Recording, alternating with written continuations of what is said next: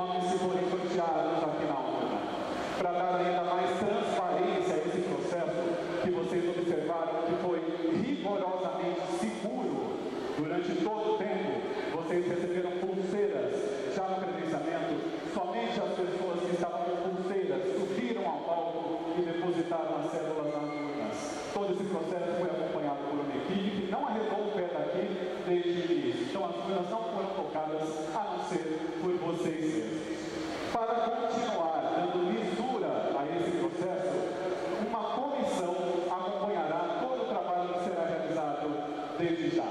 Uma comissão formada por um representante da Secretaria de Habitação, um representante do CEPROSOM e um representante do Poder Legislativo, a Câmara Municipal. Então,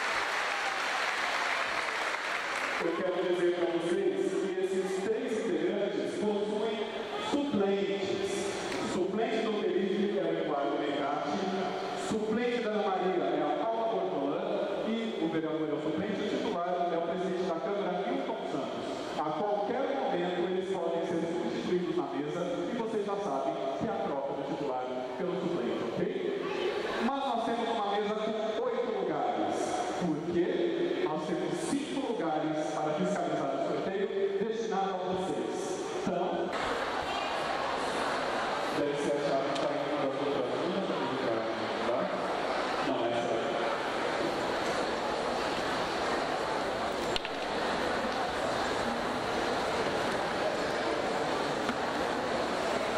Nós chamamos ao palco, então, para fazer parte dessa fiscalização, a Marta Domingos da Silva.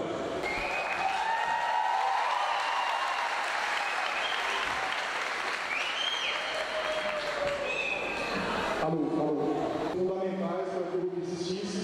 Gostaria de agradecer toda a nossa comissão, agradecer a Ana Maria, os demais vereadores presentes, as autoridades aqui, e agradecer muito vocês, a nossa equipe, que realmente assim, o evento, graças a Deus, também foi bem organizado, as coisas estão funcionando. Agradecer a vocês que se dispuseram a estar aqui hoje.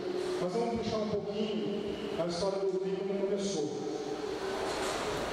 Para quem não sabe, o Rubi era para ser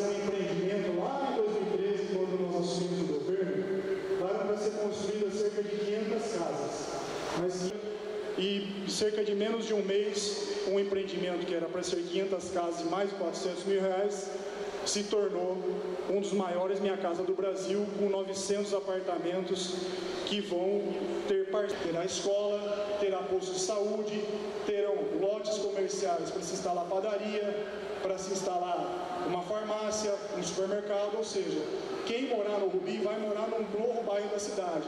E além disso, além das 900 unidades, serão mais construídas mais cerca de 750 que são do faixa 2, que serão iniciadas as obras em 2017. É, falando um pouquinho já do cadastro, vocês estão aqui hoje porque um dia